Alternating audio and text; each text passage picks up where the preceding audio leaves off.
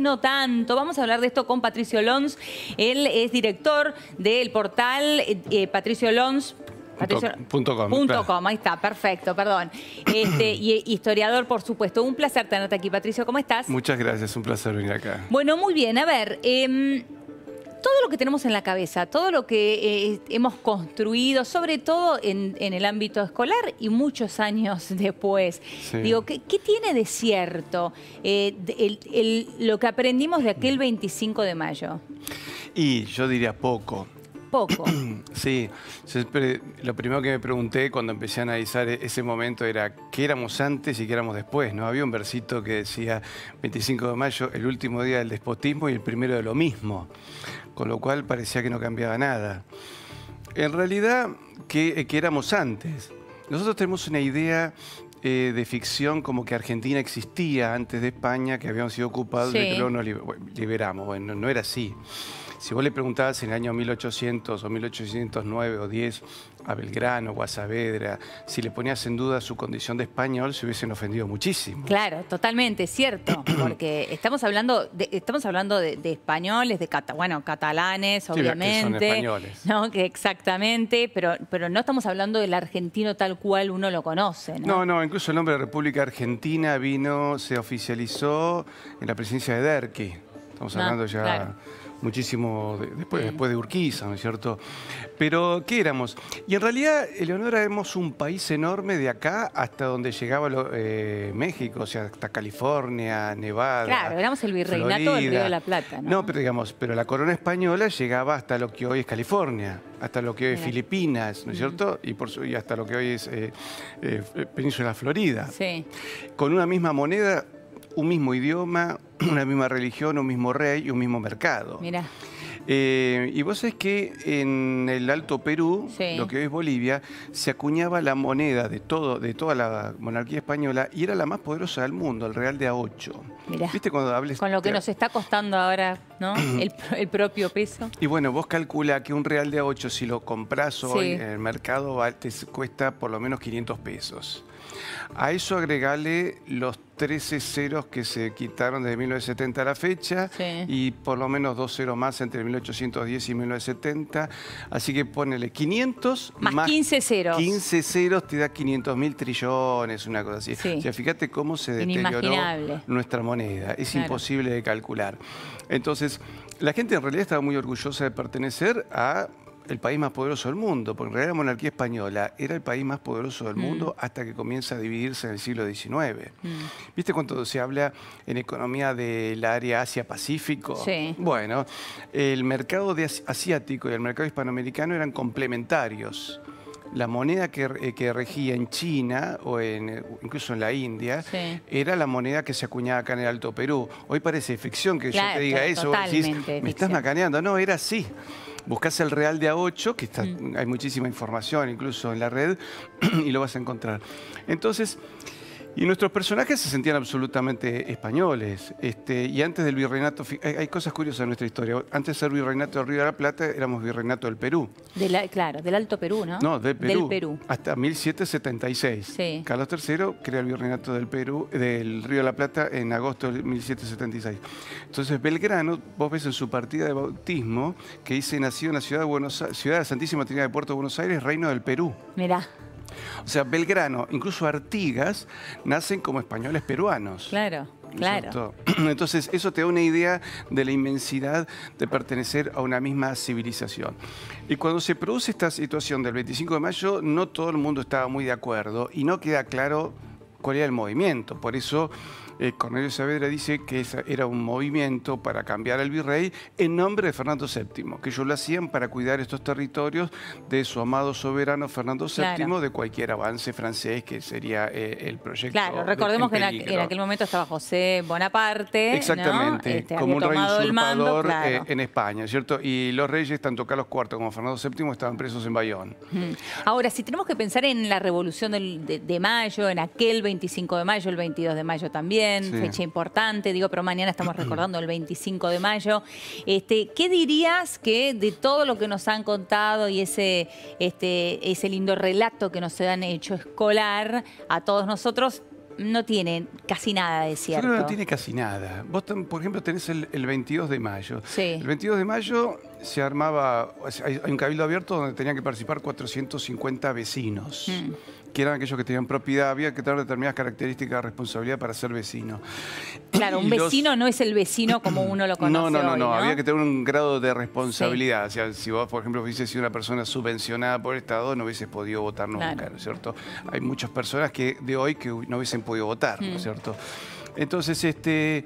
Y cuando se abre, los chisperos de French y Beruti, bueno, impiden que determinadas personas entren, ¿no es cierto?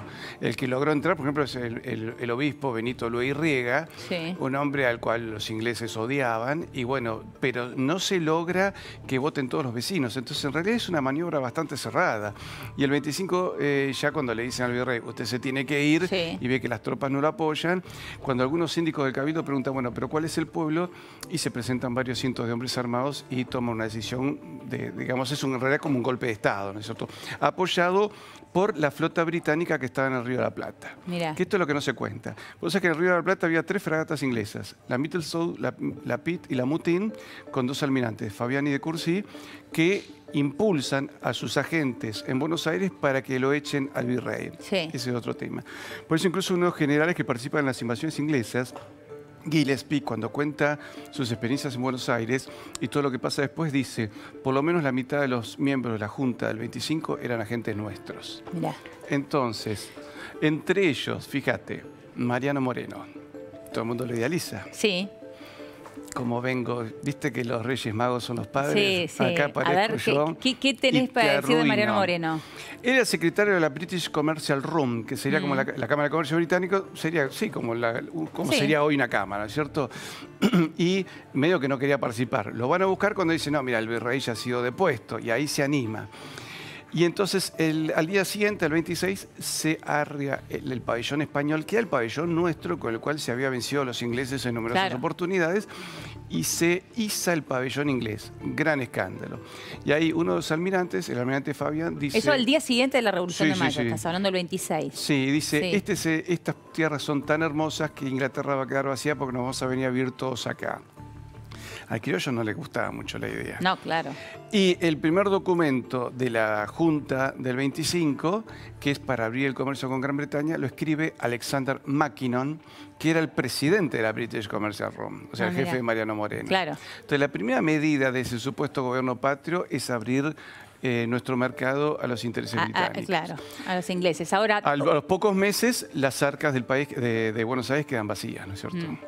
Eh, dos preguntas tengo al respecto, que más allá de lo de lo de Mariano Moreno, ¿no? Hace un rato eh, mencionabas a French Beruti. Uno los, Sí. conoce- los, los recuerda, los conoce como French Beruti, repartiendo las cintitas celestes y blancas o las escarapelas como hoy tenemos No, eran puestas. cintas, Digo, eran realidad. cintas. Sí. ¿Es, es real esto? Sí. ¿Entregaron la- cintas? ¿Cuál era el cintas que blan- tenían Y era código, básicamente. Vos tenés la cinta pasada, vos no tenés la cinta, no pasás, ¿no es cierto? Claro. Se marcaba.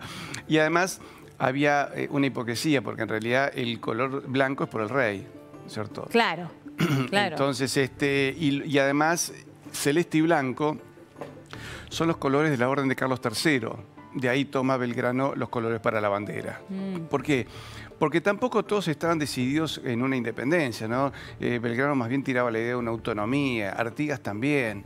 Entonces, fíjate que Belgrano eh, crea la bandera en 1812, pero en 1814 viaja a España y le pide una audiencia al rey, bueno, como para pedir disculpas y ver cómo arreglábamos la cosa, Claro. y si podía mandar a su hermano, el infante Don Carlos, a reinar acá. Es más, hace una segunda Bueno, llega la bandera. independencia dos años después, entonces. Sí, ese 2000, pero fíjate que las 14, cosas no ¿no? estaban muy convencidas, ¿no es cierto? Es más, en 1816 tampoco se definen muchas cosas, no se define ni sistema de gobierno, Claro. ni, ni fronteras. ¿no ¿Y, qué rol cumplían en, en aquel este, eh, 25 de mayo? El pueblo quiere saber de qué se trata. Esa frase que, que uno no sabe bien de a, quién adjudicársela. eh, eran los síndicos, creo que era Leiva y Lezica, que plantean qué estaba pasando. Queremos saber de qué se trata. ¿Qué- qué y en realidad las se mujeres imponen- ahí? Las mujeres, ¿sabes dónde tuvieron un rol fundamental? En las invasiones inglesas. Las invasiones inglesas yo creo que derrotamos a los ingleses por una clara decisión de las mujeres de Buenos Mirá. Aires.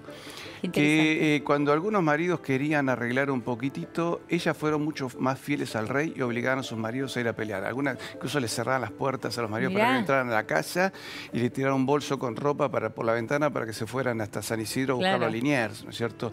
Y además luego combatieron. Hay varias mujeres condecoradas en las invasiones inglesas, ¿no es cierto?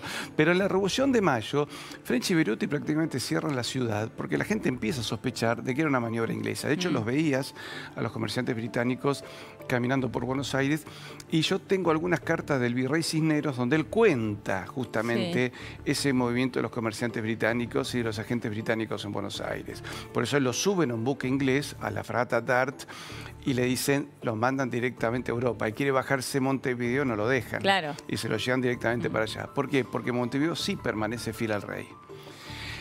Entonces, en realidad, ¿qué cambió? Fíjate, ¿viste cuando te dicen, entre los tantos cuentos, que eh, los criollos no podían ascender a los cargos públicos? Bueno, fíjate quiénes forman la Junta del 25 de mayo. Manuel Belgrano, secretario del Consulado Perpetuidad, que eso era como ser ministro de Economía. Está bien. A perpetuidad. Sí. Eh, Castelli era regidor, que es como hoy ser más o menos un diputado. Sí. Eh, Belgrano y Ascuénaga eran generales del rey. Mm. Ascuénaga era vizcaíno.